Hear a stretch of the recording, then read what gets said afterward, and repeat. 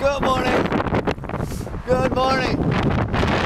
Morning. Every day of the week, Monday, coming live at you for the trail on the newly paved trail.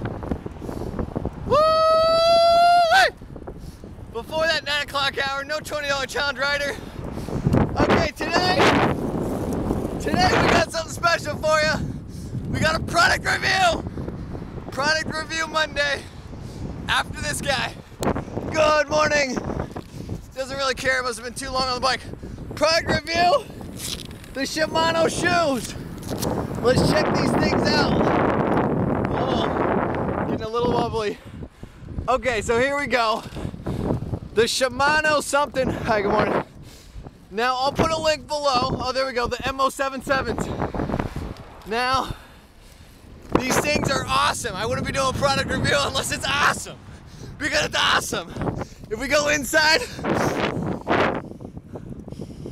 oh, it smells delicious. And these things are like a year old. Now, as you can see, the tread has been used. Overall, good morning. Overall, they work great. They are technically for mountain biking with that extra grip down there in case you need to hike the bike on the trail. But they work great for road riding, it's just a little bit more weight. Uh, I really like it.